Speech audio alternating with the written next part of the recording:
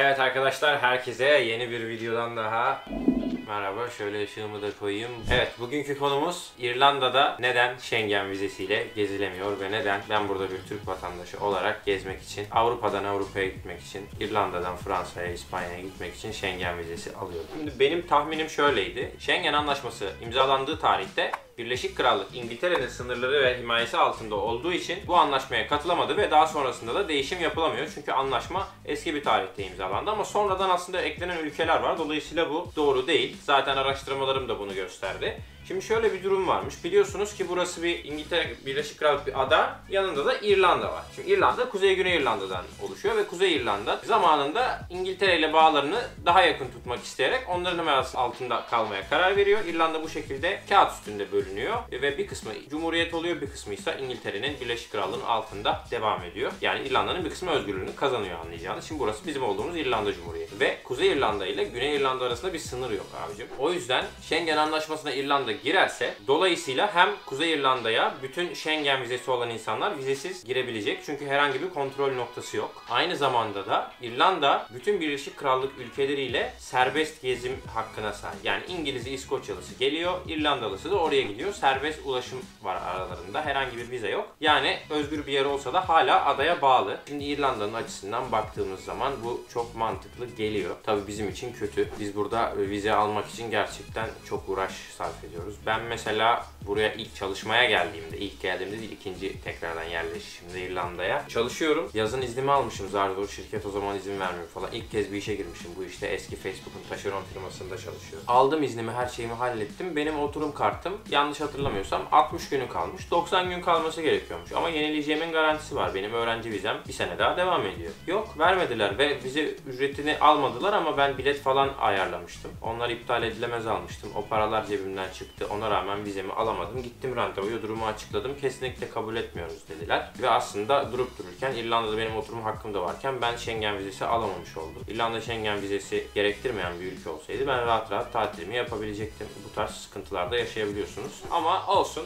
Geçmişi unutalım. Şu an benim bir senelik Schengen vizem geldi. Bir senelik Schengen vizesini nasıl aldım? İrlanda'da nasıl uzun süreli Schengen vizesi alırız? Şimdi çoğu ülke hariç Schengen vizeleri arkadaşlar. Şimdi Türkiye'nin özel durumları var. Dünyada farklı ülkelerin şu an sıkıntıları var. Bunları bir kenara koyarsak Schengen vizeleri size 15 gün, 1 ay, 3 ay, 6 ay, 1 sene diye gide gele katlanarak veriliyor. Bu hemen hemen her ülkede böyle ve her hemen hemen her ülkenin vatandaşları için de böyle. Tabii şu an Türkiye'de vizeyi reddedebiliyorlar. Farklı ekonomik veya siyasi sebeplerden az da verebiliyorlar. Sadece ilk seyahatinizde, gerçi ilk seyahatiniz için normal. Hani bu benim de başıma gelebilir ilk kez seyahat ediyorsam ama hani ilk seyahatinizde bazı ülkeler size sadece seyahat günü kadar 5 gün gidiyorsanız 5 günlük de verebiliyor. Şimdi ilk alışınızda genelde bir ay veriyorlar veya 15 gün. Ben hatırlıyorum. T'deyken 16 yaşında falandım. Bir dil okuluna gitmiştim İspanya'ya, Malaga'ya. Orada bana İspanya turist vizesi vermişti kısa dönem bir tane okul olduğu için. Orada hem İspanyolca ile tanışmıştım hem de hani yurt dışında ilk kez yalnız başıma kalmıştım. Güzel bir tecrübeydi benim için. Malaga Instituto diye bir yere gitmiştim. Tabii şu an ekonomik şartlarıyla çok zor ama o zaman gerçekten güzeldi. Şimdi orada ben bir 15 gün veya bir, bir aylık bir vize aldığımı hatırlıyorum. Bir de İspanya daha çok kolay vize veren ülkelere doğru yakın. Yani mesela İngiltere, Fransa, Almanya belki daha zor verirken İspanya, Yunanistan, İtalya daha çok ve daha kolay verebiliyor. Buradan sonra ben yanlış hatırlamıyorsam bir 3 aylık turist vizesi İspanya'dan almadım ama İspanya'da Erasmus'u yaptım. Büyük ihtimal onu ona saydılar. Ondan sonra ben buradayken ilk kez o sıkıntılı sürecin sonrasında tekrar oturum kartımı yenilediğimde bu Barcelona vloglarını, Madrid vloglarını çektiğim zaman bir 6 aylık İspanya vizesi aldım. Şimdi de başvurdum. Bu sefer bir sene kaldım. Bir daha kaldığımda da eğer oturma iznim, tabii ki İrlanda'da kalma iznim buna yeterliyse 2 sene olarak vereceklerini düşünüyorum. Eğer genel bir sıkıntınız yoksa işte öğrencisiniz, bankanızda para yok, anne babanızdan sponsorluk kağıdı alamıyorsunuz, odur budur gibi bir sıkıntınız yoksa genel olarak hemen hemen her yerde bu şartlar geçerli. Eskiden Türkiye'de de böyleydi. Yani gerçi mesela yakınlarda babam da ama babamın çok fazla vizesi var. Fransa'dan uzun süreli bir vize aldı. Hani benim aldığımdan da daha uzun bir vize. Ama dediğim gibi işte düzenli olarak alıyorsanız böyle bir avantajı var. Maalesef hani bir kere de gidip böyle bir 3 senelik alayım, 5 senelik alayım diye bir muhabbet yok ama sanırım bazı ülkeler mesela Yunanistan olabilir. Daha uzun süreli vizeler veriyorlar ya da en azından veriyorlardı korona öncesi. Durumlar bu şekilde. Dediğim gibi yani maalesef kolaylıkla çözemiyorsunuz. Vizenizi alıyorsunuz ama bazı limitler var. Bu limitlere uymanız gerekiyor. İşte paranız olması gerekiyor. Benim az önce bahsettiğim problem gibi oturum izninizin süresi olması gerekiyor. Onun dışında da e, sabredip daha sonrasında uzun süreli vize alabiliyorsunuz.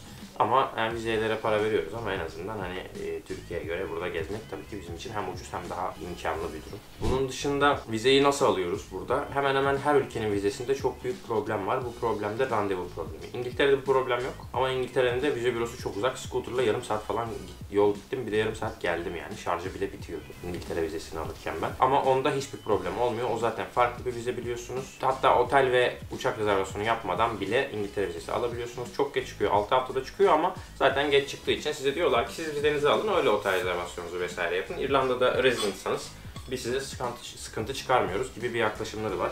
Ee, çok daha kolaydı Avrupa Birliği vizesine göre.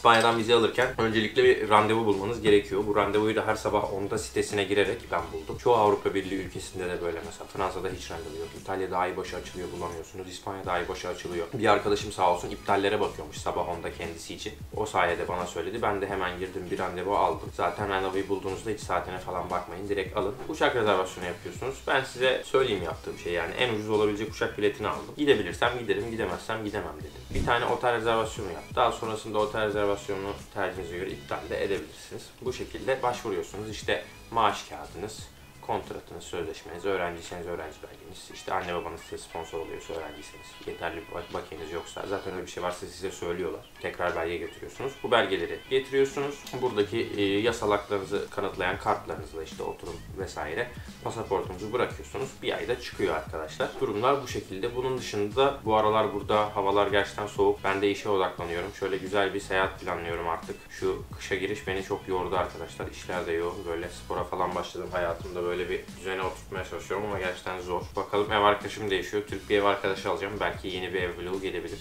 Yeni seyahatlerimizle belki vloglara devam edebiliriz. Bir süredir İrlanda'da mahsur kalmıştık diyebiliriz. Şöyle uzun bir Türkiye seyahati de bakalım kısmet olursa düşünüyorum. Evet ekleyeceklerim bu şekilde. Kendinize çok dikkat edin. Türk pasaportlu birinin Avrupa'da yaşadığı her türlü maceraya ortak oluyorsunuz. Yorumlarınızı, desteklerinizi eksik etmeyin. Önceki videomu buradan görebilirsiniz. Abone olmayı, like atmayı ve yorumlara neler istiyorsunuz, sonraki videolarda neler çekelim, buradan nelerini merak ediyorsunuz yazmayı unutmayın. Öpüldünüz. Görüşürüz. Buradan Fenerbahçe'nin büyük hocası Jorge Jesus ve takım arkadaşlarına büyük selam olsun.